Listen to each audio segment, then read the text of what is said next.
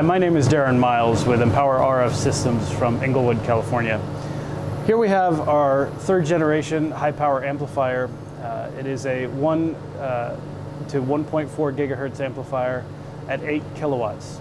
Uh, this particular amplifier has uh, six individual drawers that are combined uh, together at the rear.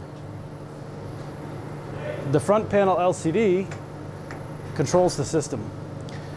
The front panel uh, GUI is actually the same as what you would see in a web browser.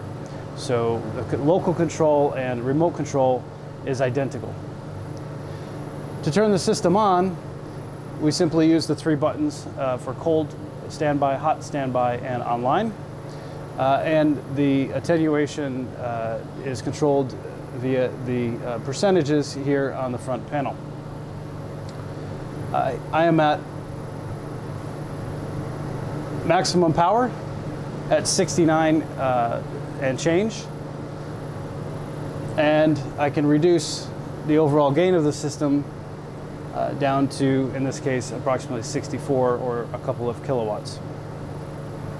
Uh, every fault in the system is set up uh, to protect the amplifier uh, and or maintain power uh, on the air. The faults are organized uh, as uh, input overdrive, uh, power limiter, uh, reflected power. Um, we have a temperature fault as well as an interlock fault to make sure the drawers are fully engaged. We will take a look at these faults next on a uh, computer screen. All right, so in a standard web browser, we will pull up the amplifier uh, by its IP address uh, and then log in. Uh, we have uh, uh, several different roles uh, that can be utilized for login. in this case, I'm going to use admin.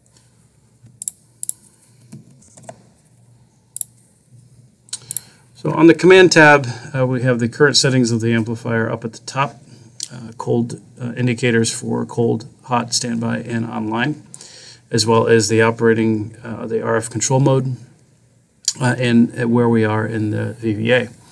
Uh, I am already online with this amplifier, and uh, to bring it up to full power, I'm just going to apply, uh, and we get a forward uh, peak of about 69.5 dBm, and again, this is a 8 kilowatt amplifier.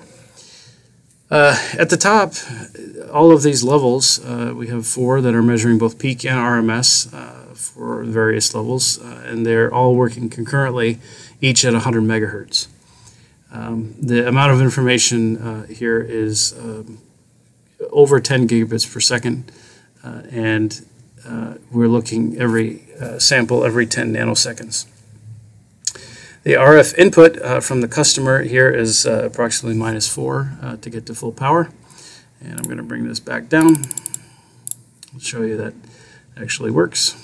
And back down at uh, uh, about 100 watts.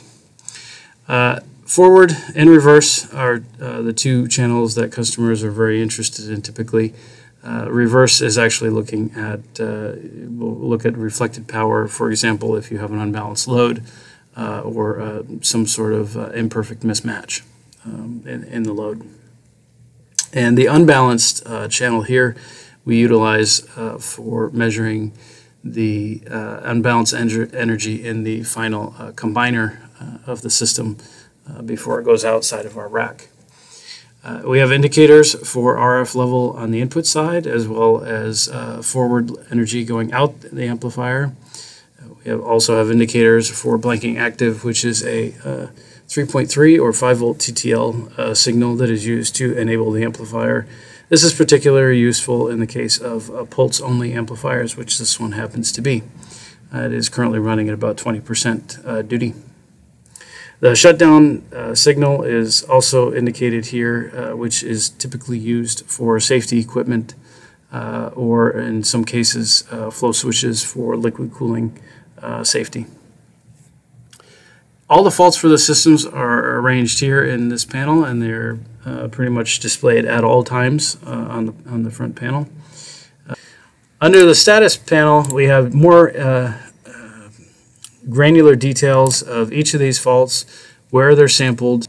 In a larger system where we have multiple drawers uh, controlled by a, a primary controller, like is, is this this is the case. We have six amplifiers, and each amplifier can be drilled down to uh, see the, the given specifics for that particular amplifier, uh, whether or not uh, it has a, a fault state um, at its lower level uh, system, and um, all of its uh, drivers and the, the RF chain uh, to go along with it, as well as its own metering of what kind of energy is being dissipated from that particular amplifier. This drill down concept it will is is uh, critical for uh, troubleshooting and debugging. Under the environmental tab, uh, we have, in this uh, particular system, we have uh, both air cooling and liquid cooling uh, going on. We have several fans that are all measured with the standard tachometer and um, throttled accordingly. And in the bottom section, we can see that we have some analog sensors that are looking at the uh, flow rates of the uh, glycol loop uh, going through the, the system, which is in this case about 12 gallons per minute uh, to and fro, as well as uh, about a gallon per minute for a um, small uh, load.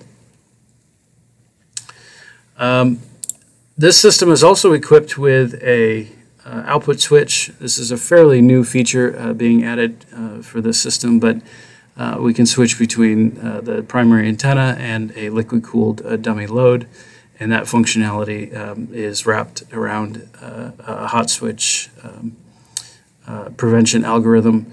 I hope this demonstration has been helpful for you, and um, please give us a shout if you have any questions.